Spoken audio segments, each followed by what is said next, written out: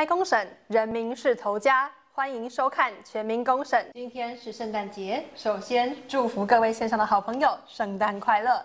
相信圣诞节对多数人是一个享受亲友团聚、分享喜悦的节日，然而对有些人，圣诞节却是一场长达二十五年的噩梦的开端。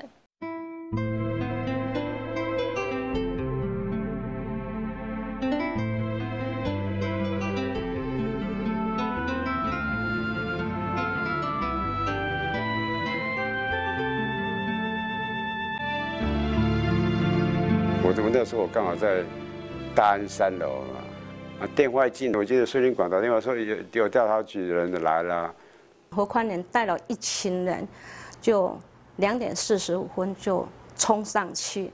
那我们也不知道那些人是谁，一群一进来就二三十个，都是壮汉的冲进来，在门口看到有警察，然后荷枪实弹。这个警察都。还有那个调查局的人都带枪啊，带手枪啊，那当时真的很恐怖。我因为我工厂离这边也差不多五分钟，我就过来一看，哇，那是连什么这么不讲理，翻箱倒柜的啊，拖啊病了吼，啊，而且柜子还锁着，啊锁着因为咱无锁匙啊，啊伊讲你得爱开起来，啊无开开呢，我还弄个破。他就很凶，就说你那个师兄钥匙再不拿来的时候。我要把它踹开，你有雄心，我一卡的应该踏落去啊！我背的包包就只要就刚放在会馆而已，然后他就说这个包包要收藏。那当我到会馆的时候，啊，看到很多记者，我当下非常的生气了哈，也非常惊讶，就说：哎呀，奇怪，记者怎么会知道？因为理论上像这种是一个调查的的过程啊，怎么会有记者过来？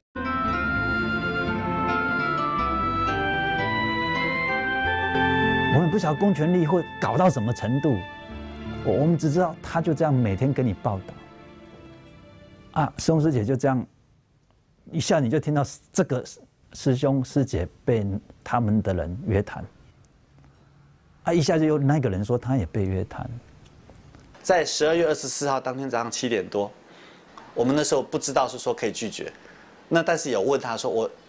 一定要跟你走吗？好，你不走可以呀，我就把你们更多的师兄师姐全部都抓起来啊！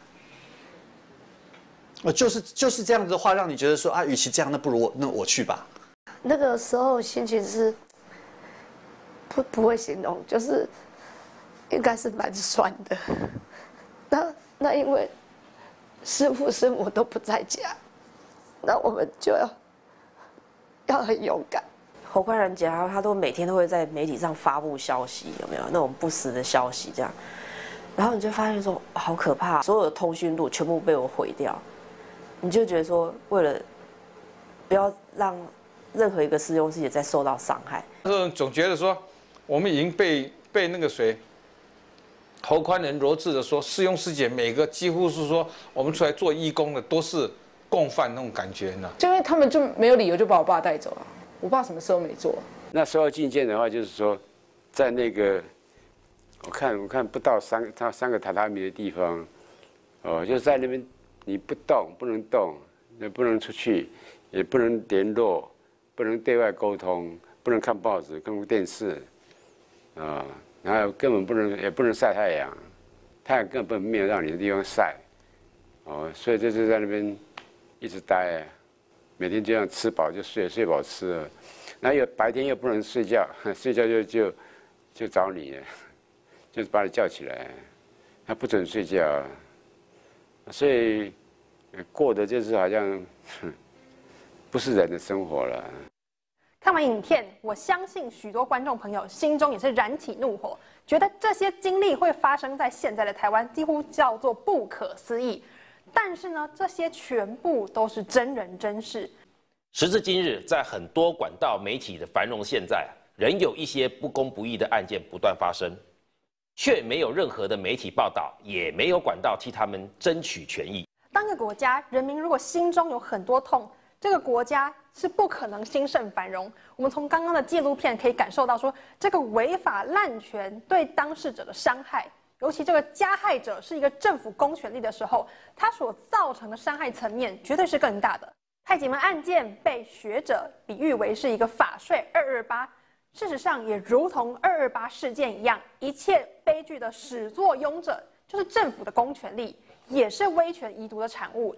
如同二二八事件需要被平反，法税二二八事件的太极门案也是严重的人权迫害，同样也需要被平反。二十五年哈，政府到现在不解决，其实是因为。好，就将错就错，然后跟打死不认错，越来越多的民众去做觉觉醒。好，那我相信这些黑心无良的官员哈，他总有一天会知道自己好这样子再这样黑心下去，再这样子无良下去哈，会被啊会被人家做公审。近日呢，更被踢爆侯欢仁当年找税务员史月生配合做伪证哦，所以这个太极门案件其实它自始至终就是一个被刻意制造的一个假案。所以，国际知名的经济学者、社会学者以及法学专家，从不同的层面来剖析，让我们了解背后真相。Why didn't it happen? And one answer that's come up is bureaucracy.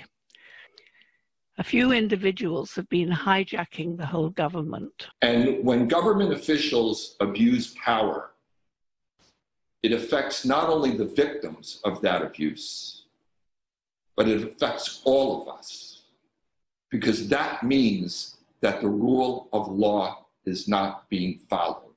Integrity, dignity, respect, compassion, love, and peace are at the heart of their values and of their lives. But some people and institutions have shamelessly violated their human rights to justice. This is also a precious asset for the Taiwanese society and the image of the country abroad.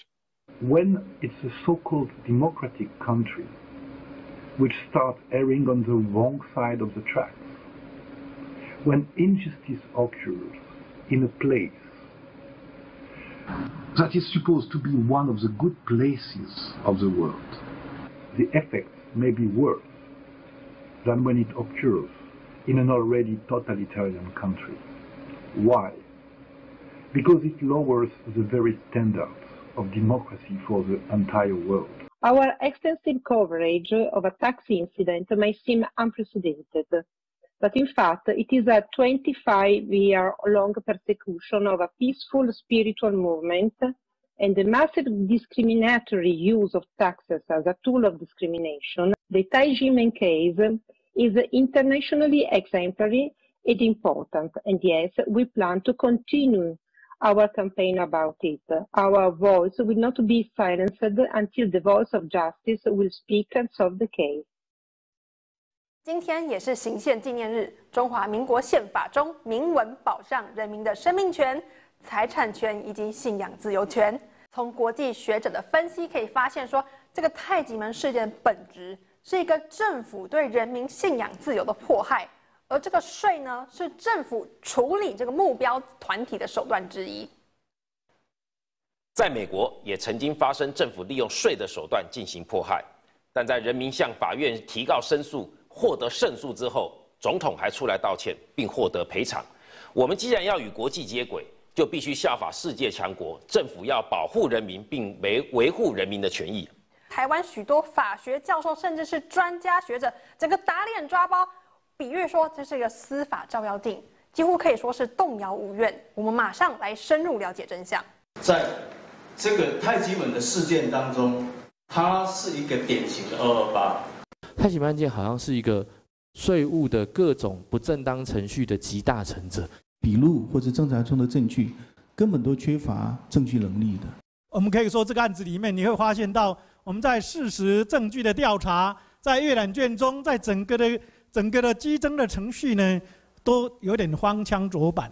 太极门案呢，不是税务案子，也不是司法案子，因为根本就是整数案子，政治整数。太极门案呢，它呢就是一个完完全全反映出台湾那个司法的照妖镜啊，同时也代表一个税务的照妖镜。现在都没有办法解决，没有办法把这个税税单哈。